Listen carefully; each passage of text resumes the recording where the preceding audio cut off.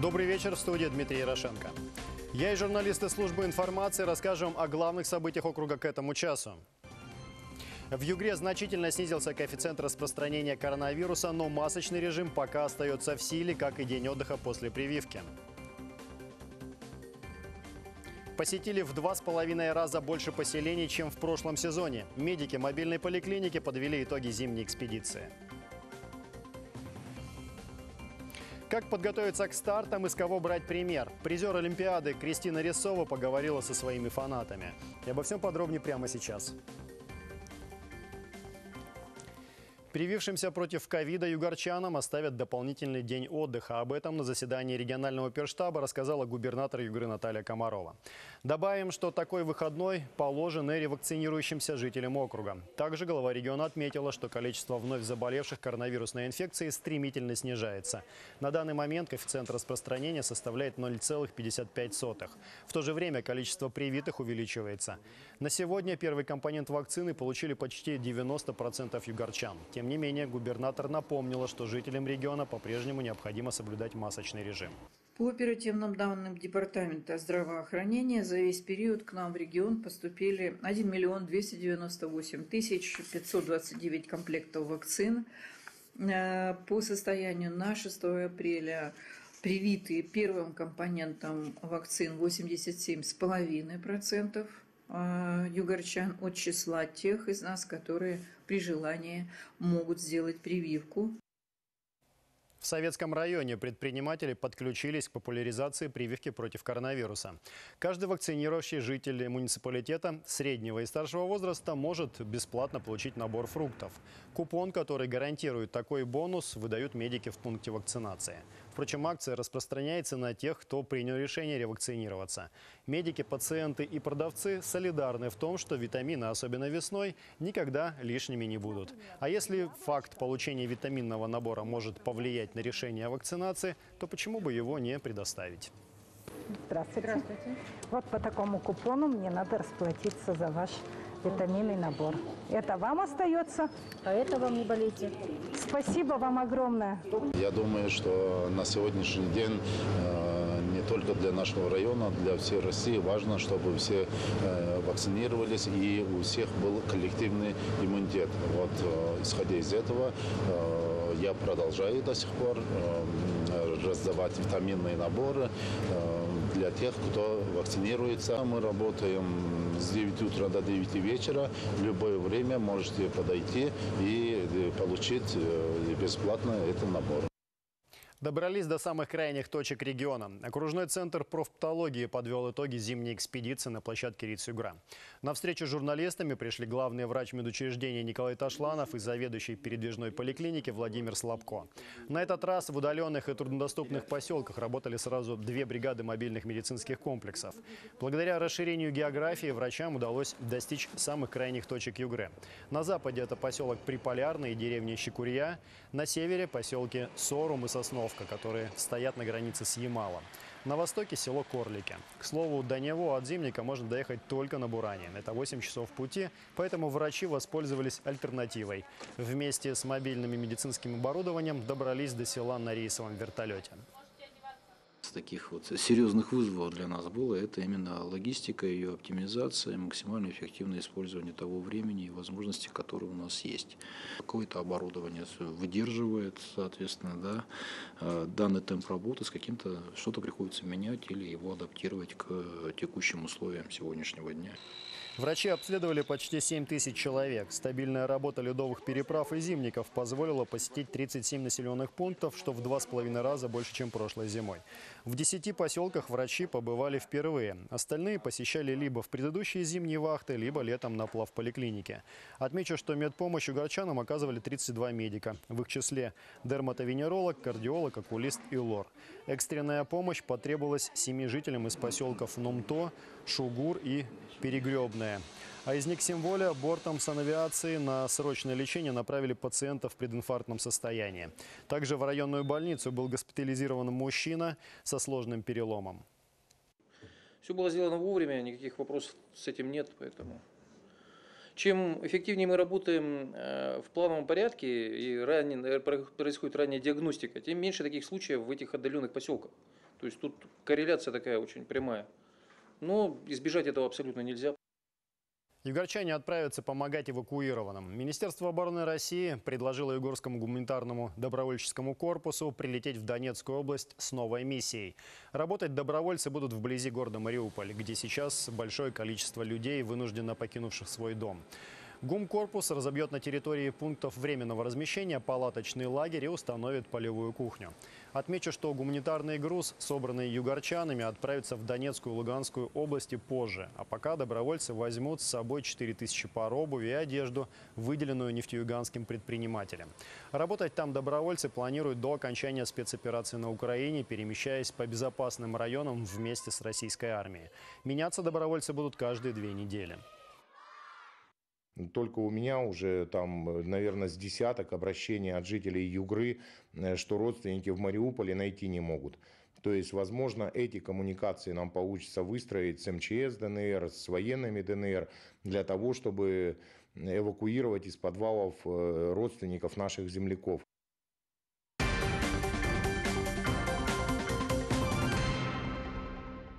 Новые экономические вызовы югорчане воспринимают как новые возможности. Товаропроизводители нашего региона продолжают продвигать бренд «Сделано в Югре» и наращивать конкурентоспособность.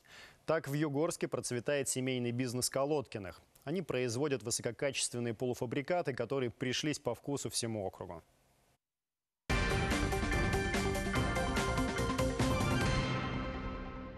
История семейного предприятия «Пельмешки», как у бабушки, началась с производства полуфабрикатов из теста.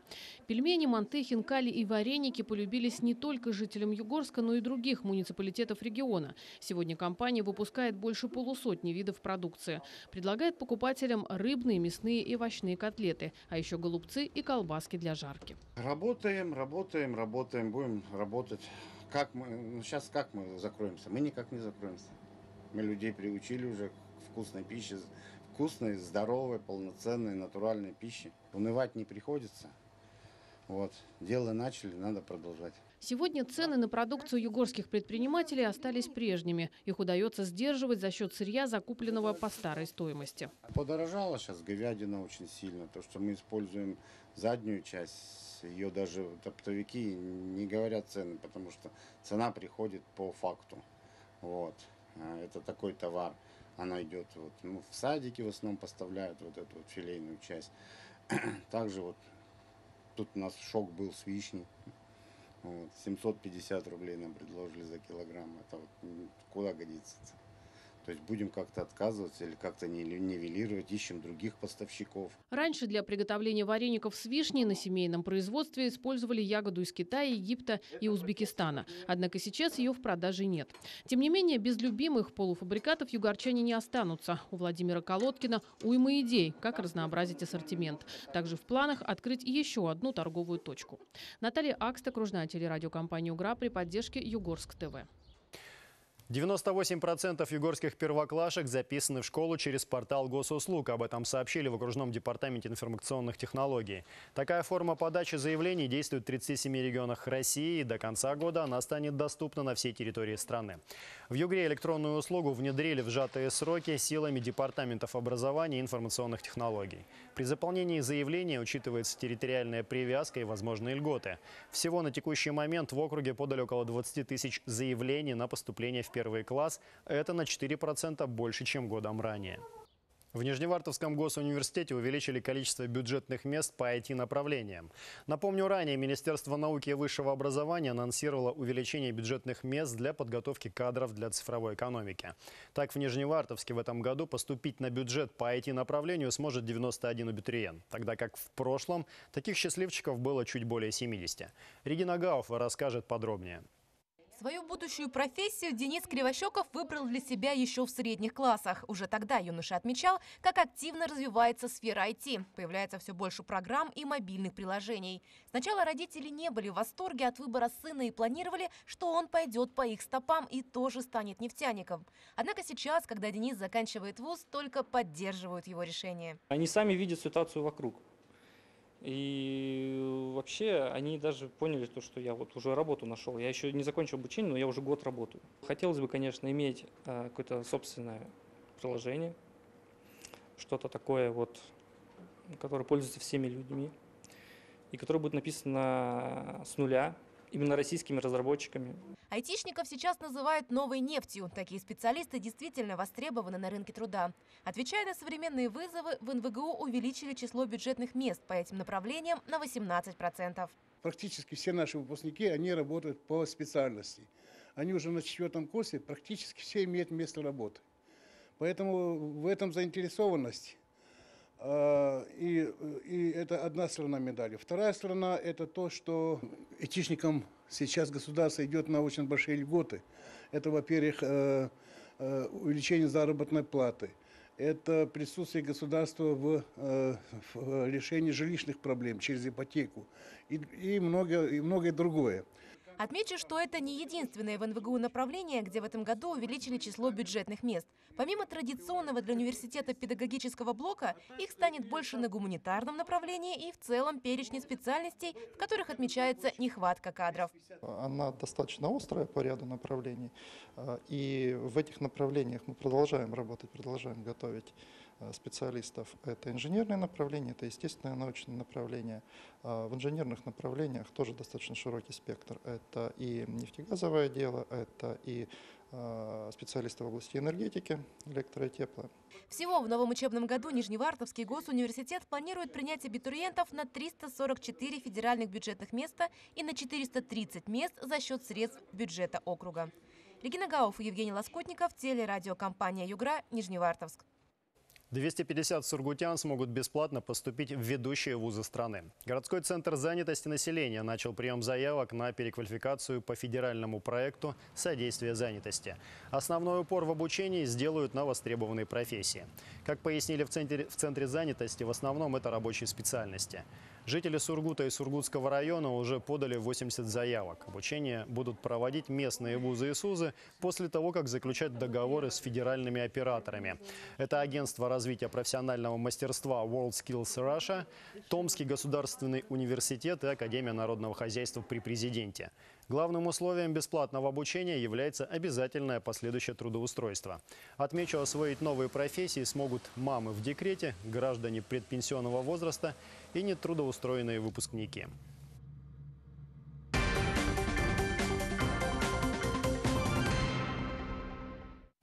Директора Нижневартовской компании, которая специализируется на обслуживании буровых установок, осудят за серию коррупционных преступлений. После возбуждения уголовного дела обвиняемая пыталась скрыться, но ее задержали в Сочи. Как сообщает пресс-служба окружной прокуратуры, директор сэкономил на обязательных платежах. Это налог на добавочную стоимость и страховые взносы.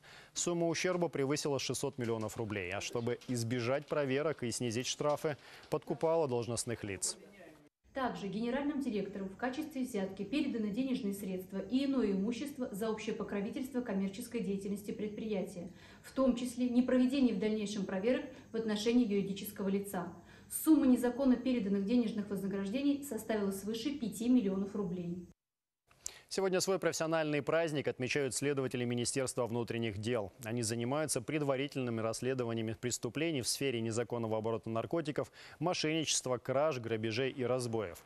В органах предварительного следствия игры служат более 500 человек, из них больше половины женщины. Они успешно расследуют самые серьезные и запутанные преступления. За минувший год в производстве горских следователей находилось более 16 тысяч уголовных дел, из которых больше трех тысяч направили в суд. Столько же обвиняемых привлекли к ответственности. Количество расследуемых преступлений выросло почти на 3,5%. В Сургуте столкнулись две иномарки. Авария произошла накануне вечером. По предварительной информации, водитель Toyota не уступила дорогу Volkswagen, когда выезжала из жилой зоны. В результате столкновения пассажирка немецкого автомобиля получила травмы. Это единственное ДТП с пострадавшими, которые зарегистрировали в Югре за минувшие сутки. При этом не обошлось без штрафов.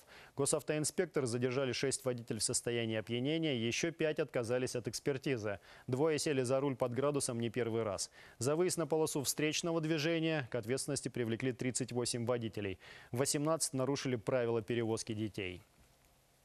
От чемпионки страны по черлидингу до призера Олимпийских игр. Сегодня Кристина Рисова рассказала подрастающему поколению о своем спортивном пути.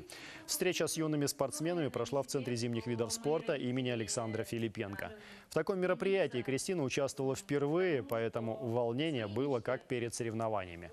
Игорчанка рассказала о том, как подготовиться к стартам, поделилась любимыми упражнениями и рассказала, кто ее кумир. В мероприятии приняли участие воспитанники спортивных школ. Стоит отметить, отметить то, что автор самого интересного вопроса получил подарок от Кристины Рисовой. Этот вообще заряд эмоций, когда ты находишься в своем родном регионе, ни с чем не передать, потому что, ну, как бы болельщиков много и в Тюмени, и, допустим, вот мы в Уфе были, но когда приезжаешь домой, не знаю, здесь все свое родное, и, соответственно, к людям, не знаю, как-то по-родному больше относишься, что ли, поэтому я вообще благодарна всем, кто приходит на нас смотреть, потому что на самом деле они делают эту атмосферу. Завтра спортсменка примет участие в спортивной элите Югры, а после отправится на отдых. В Югорском лыжном марафоне Кристина Рисова не примет участие. Югра принимает чемпионат России по северному многоборью среди мужчин и женщин, а также первенство страны среди юниоров и юниорок. Церемония открытия накануне состоялась в Белоярском. Старт состязаниям дали губернатор Наталья Комарова и президент Федерации Северного многоборья России Алексей Ворошилов. Спортсмены определят лучших в метании топора и тынзян на хорей, а также прыжках через нарты, в тройном национальном прыжке и беге с палкой по пересеченной местности. Югру на этих стартах представляют 26 атлетов. Они поборются за победу в личном и командном зачетах. К слову, всего на соревнованиях заявилось больше сотни спортсменов. Из Ямала-Ненецкого и Ненецкого автономных округов, Якутии, Сахалина, Камчатки, Тюмени, а также Ивенкии и Красноярского края. Мы все одна семья, северные коренные малочисленные народы, и объединяет нас и в этот раз спорт. Спасибо большое за то, что выбрали наш регион для этих замечательных соревнований. Э, мы постараемся не подвести вас и э, начинаю именно с того, что желаю вам, каждому из участников сборной команд, победы на нашей Егорской земле. Нам не жалко. Так что успехов вам! Олимпийский чемпион по лыжным гонкам югорчанин Евгений Дементьев пробежал свою последнюю гонку в статусе профессионального спортсмена. Но что называется, ставить в угол лыжи он пока не собирается. Ближайший старт, в котором он примет участие – Югорский лыжный марафон. Наш специальный корреспондент Дмитрий Пришвицын встретился с чемпионом и узнал о том, как коварный подъем на одной из трасс чуть не поставил точку в карьере спортсмена, что было дальше и как подготовили лыжника, как вернее проводили лыжника из большого спорта. Ответы в следующем материале. Большая часть сказала, наверное, это наконец-то это свершилось, как долго можно было это ждать. Такой шуткой Евгения Дементьева проводили из большого спорта друзья и коллеги по лыжне. О своем последнем старте он заявил во время чемпионата страны, который на прошлой неделе завершился в Сыктывкаре. На момент гонки Евгению было 39 лет. Потрясающее лыжное долголетие демонстрирует наш олимпийский чемпион Турина. Знал, что я выхожу на эту гонку не бороться. А вот в прямом смысле этого слова поучаствовать. Профессиональная карьера Евгения Дементьева началась и закончилась в Сыктывкаре. На этот жизненный круг ему потребовалось четверть века. Свой первый взрослый старт он бежал на всероссийских соревнованиях на призы Раисы Сметаниной. Там-то ему впервые на дистанции встретился подъем, который проверил на прочность не одно поколение лыжников. Я когда бежал эту гонку, и я выходил на один подъем, который в тот момент для меня был самым тяжелым. В тот момент он не заставил меня как бы остановиться, то есть в желании дальше заниматься лыжами. В итоге эта неудача сделала спортсмена только сильнее. Спустя 8 лет он триумфально выступил на Олимпийских играх. Из Турина 23-летний лыжник привез сразу две медали. Его работа на финише в скиатлоне до сих пор приводит в восторг. Из зоны аутсайдеров югорчанин постепенно подбирался к лидирующей группе, а на последних метрах вырвался вперед и завоевал золото. Счастливым тогда для Евгения стал 13 номер. Вообще магия цифр в карьере Дементьева периодически случалась. К примеру, сейчас свой последний старт он завершил 86-м. Прямая ассоциация с Югрой. Цифры же всегда говорят э, сами за себя, и они, как бы говорят, очень много значат. тот же самый 13 номер у меня. То есть э, последняя гонка 86 ну, возможно, то есть они остаются, и потом они как-то ассоциируются вот с такими моментами. Евгений Дементьев был близок к завершению карьеры еще в 2009 году. Тогда случился допинговый скандал, а югорчанина отстранили от гонок на два года. На эмоциях спортсмен заявил об уходе из профессионального спорта, а его цитату по сей день вспоминают спортсмены и болельщики. Я не хочу искать виновных, все заложники происходящего. Отмечу лишь, что мы, спортсмены, на этой войне считаемся солдатами. Мы удовлетворяем чьи-то амбиции, и погибаем мы всегда первые. Через несколько лет Евгений вернулся в большой спорт, но основным фронтом его работы стали российские старты. Конкуренцию на международной арене он составил в лыжероллерах. Пауза в карьере дала возможность посмотреть на этот вид спорта по-новому. В итоге Евгений стал чемпионом мира. На сегодняшний день я понимаю, что лыжи-роллеры это немножко другой вид спорта. То есть, и там нужно к нему также готовиться, и есть люди, которые к нему готовятся. На тот момент у меня этого понимания не было. У меня было так, вроде бы, как бы победил, но не все сильнейшие участвовали. Кроме того, пауза в спорте помогла Дементьеву найти еще одно увлечение. Уже около 10 лет его экипировочный центр пользуется огромной популярностью не только среди югорских лыжников, но и спортсменов всей страны. Мы делаем все, то есть э, за исключением ботинок на сегодняшний день. То делаем лыжи, палки, нижнее белье, носки, э, шапки, лучше перчатки. Ну вот все, что связано с лыжными гонками, мы практически все закрываем.